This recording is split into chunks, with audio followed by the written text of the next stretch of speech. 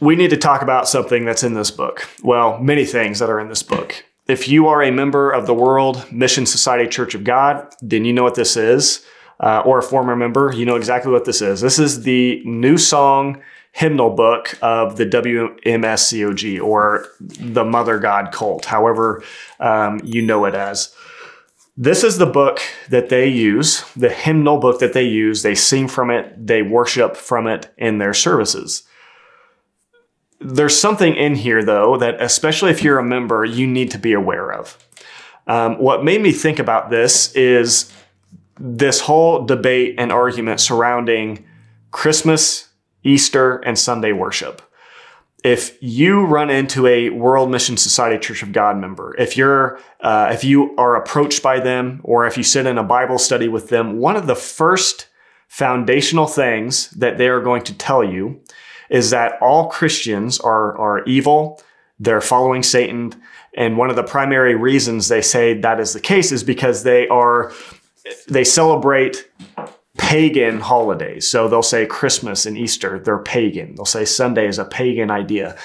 So they'll say that because these holidays originated in these pagan practices, that originally things like Christmas and Easter, they, they came from uh, false god worshiping people who set up these specific days and, and times to worship false gods.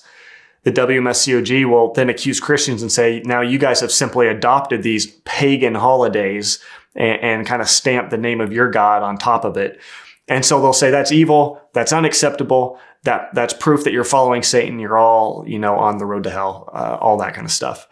Um, if you are a member of the church, the WMSCOG, I don't want to call it a church. It's not a church. It's not the church. It's a cult. But if you are a member of that group, you are entirely familiar with what I'm talking about right now because that sort of concept, that sort of ideology about the, the evil of Christians who celebrate Sunday or, or worship on Sunday or celebrate Christmas and Easter, you know, you know all about that. You hear it all the time. But this presents, your own book presents a gigantic and enormous uh, contradiction and a proof of, of the absolute hypocrisy of that argument that the WMSCOG uh, uh, argues against Christians with.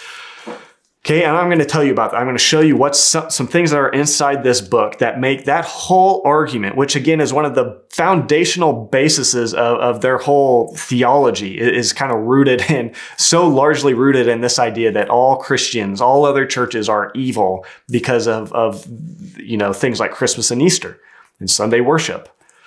So I'm going to tell you about that. But first, I just want to say this. I am calling right now the World Mission Society Church of God this it's a cult, and I'm calling it uh, I'm calling it out for its hypocrisy right now. I, am not intending to come across as angry, hateful, or vengeful toward members or you who might be watching that that might believe in this group.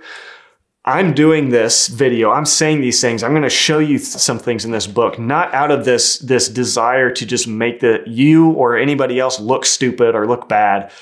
I just, it, it, you need to see, I just know that you need to see the truth. You're being deceived, you're being lied to, and there are some things that you don't know, you don't understand.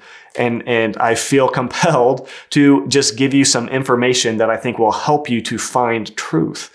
And so again, I'm not intending to insult or um, belittle or, or uh, anything like that toward anybody.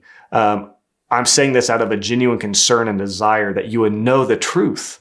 That this whole argument about Sunday, Christmas, and Easter, it's ultimately when you see some things in here, it's a sham. So I'm kind of I'm, I'm setting this up a lot, but I want to before I show you what's in here, I want to read an example comment from from somebody I got. Um, I, I've been sharing videos in the past month or so about this topic of Christmas, Easter, Sunday, and so I've been getting comments from World Mission Society Church of God members and others who kind of answer back. And here's an example uh, of of what I uh, what arguments that the WMSCOG gives and, and where the hypocrisy lies. So this person says, it is not just the fact that you are worshiping your God on the same day as the pagans. it is that you are doing the same thing as the pagans. You are not giving a celebration to your God. You are doing exactly as the pagans, but throwing Jesus' name on it. You are joining in the pagans' revelry as it is written in the Bible. I would actually believe you're rambling if it wasn't for that, but what it really sounds like is you are trying to justify doing what the pagans do, but saying you are not pagan, okay? So this is somebody who's responding to me talking about how sometimes I will worship God or go to church on Sundays. I celebrate Christmas. I celebrate Easter, okay? The WMSCOG, what they will immediately say to that is those are pagan, pagan origins. They're rooted in Satan. If you follow them, you're just simply doing what the pagans do and stamping the name of Jesus on it. Okay, here we go. If, if you're going to use that argument against any Christian from this point forward, if you're going to use that argument, you have to know this. You have to consider this to be consistent. This is the book you guys are using, okay? I'm talking to World Mission Society Church of God members, leaders who I hope are watching, deacons, uh, whoever you are. Think about this, okay? Page 463 of the New Songbook. The title of the hymn is Rock of Ages, Cleft for Me. That sounds strangely familiar. That is a Protestant Christian hymn that the World Mission Society Church of God has pulled out of a Christian hymnal. Keep in mind, a Christian hymnal that they would say is pagan, full of false demonic doctrines uh, in, in their minds, the church went astray, went into darkness um, after the apostles. Um, but yet they're pulling out hymnals from these Christian writers and authors who are teaching doctrine, even within the very hymnals that they're pulling from, teaching doctrine that the World Mission Society Church of God would say is evil, pagan, demonic, false but yet they're using these hymnals and sticking them in their books and then using them to worship their God. Here's another example. Okay, so that's for Rock of Ages cleft for me. That is a Christian hymn. They didn't, the WMSCOG did not write this. Um, another example, uh, This is My Father's World, page 434. That, that is a Christian hymn that hymn and, and, the other one I showed you, and these these several others I'll show you that are just all throughout the pages of this book. Th- these Christian hymns are written from a Protestant Christian ideology. Uh, this is my father's world. Again, page 434. Um, 429, my hope is built on nothing less. Another Christian hymn. Page 426, come you fount of every blessing, which should be come thou fount of every blessing is the actual name. 425, near my God to you or to thee. Um, 416, would you be free from your burden of sin? Okay, I think they changed the title on that one, but uh, these are Christian hymns. I'm, I'm, I'm showing you right here. Go and look in your new song book, and what you're going to find scattered throughout the whole book is Protestant Christian hymns that the World Mission Society Church of God pulled out of these Christian hymnals, pulled from Christian uh, authors who wrote them. They stuck them in their own worship book. They changed some, some wording. They changed the titles here and there. And now they're using these, what they, what they would have to say are pagan originated hymnals. They are using them to worship their gods. So to go back to this comment from this member, um, who says, to me, celebrating Christmas and Easter, he says, you're doing exactly as the pagans do, but throwing Jesus' name on it. Well, how in the world is that not exactly what you, World Mission Society Church of God, what you are doing with your hymnal. You are literally taking what you have to say are pagan hymnals. You're pulling them out of these pagan books from these pagan authors who are filled, their minds are filled with belief in a, uh, a false satanic doctrine, is what you'd say. They're blind, they're in darkness. They're writing these hymns, you know, uh, and you're using them now, you're sticking them in your worship, worship book. How is that not the same exact thing that you accuse Christians of doing. You say these Christians have taken these pagan holidays and they simply take them and, and put the name of Jesus on them and then claim to worship Jesus on the same day in some of the same ways that the pagans do. Well, that's what you're doing with this book. You're doing the same thing. Right now, I want to say this to members watching. I believe so many of you are in this church not due to some willful desire to be deceived. You, none of you intentionally joined a cult. But if you're in the World Mission Society Church of God, you have joined a cult. Um, that might sound harsh, but that's the reality. That's what this is. And I'm saying this out of love and desire for you to know the truth, that you would listen to this. Think about the hypocrisy uh, of all of this. You guys sit in your church services and you sing from pagan hymnals to worship your gods. Please, before you continue in that doctrine, that ideology uh, that you're so deeply rooted in, that Christians are evil because of their holidays and their Sunday worship, you're doing the same thing, okay? And I encourage you, members, think about this.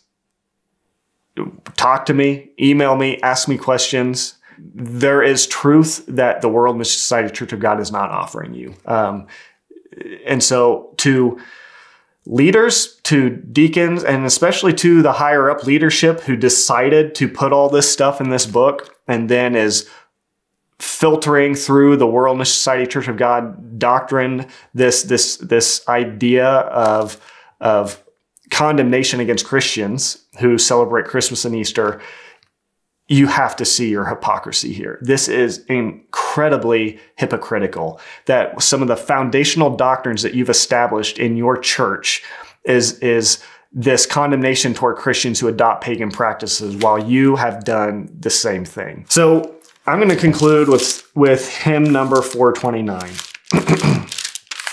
that I just I just referenced, but again, this is a Christian hymn. My hope is built on nothing less.